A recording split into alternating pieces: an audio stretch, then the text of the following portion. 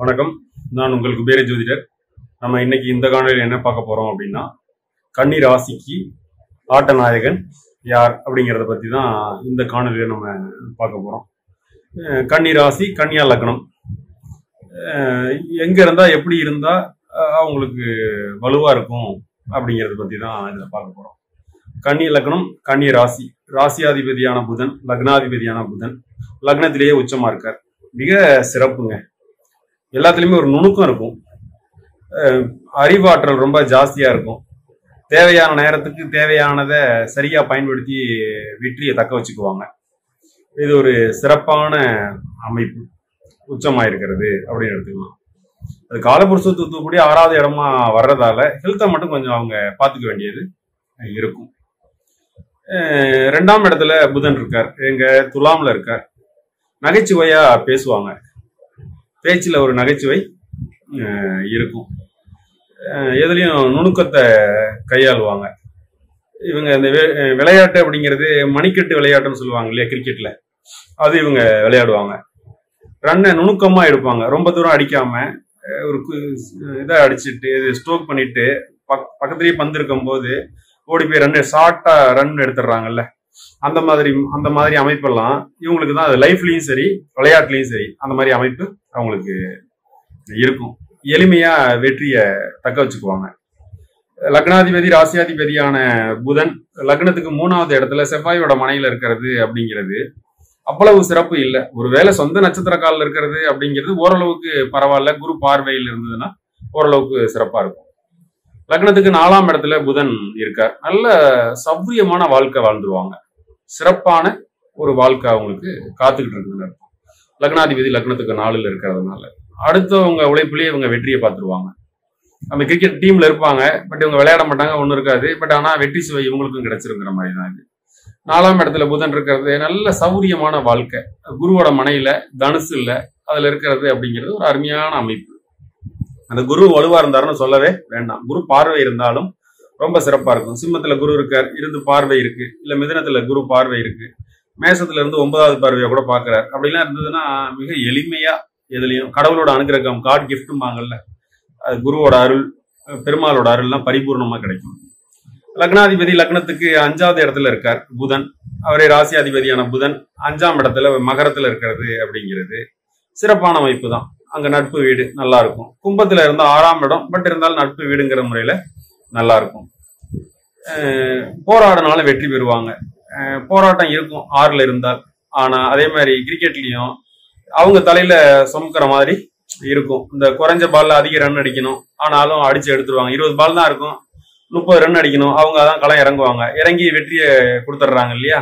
அந்த மாதிரி ஆறாவது இடத்துல லக்னாதிபதி இருந்ததுன்னா போராட்டம் இருக்கும். ஆனாலும் போராடி அவங்க வெற்றியை சுவைச்சிருவாங்க அப்படின்னே சொல்லலாம்.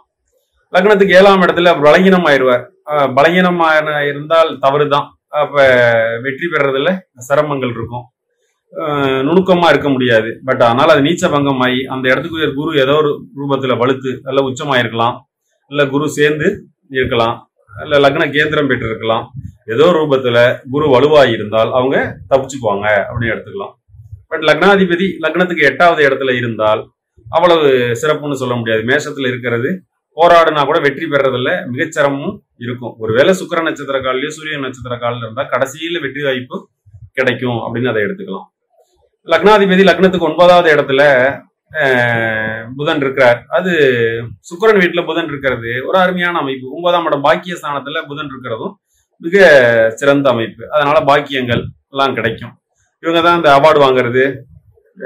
நல்லா விளையாண்டுறது சிறப்பாக விளையாடுறது. விளையாடுறது தெரியாமே விளையாண்டு ஜெயிச்சு வெற்றி கோப்பையெல்லாம் வாங்குறது.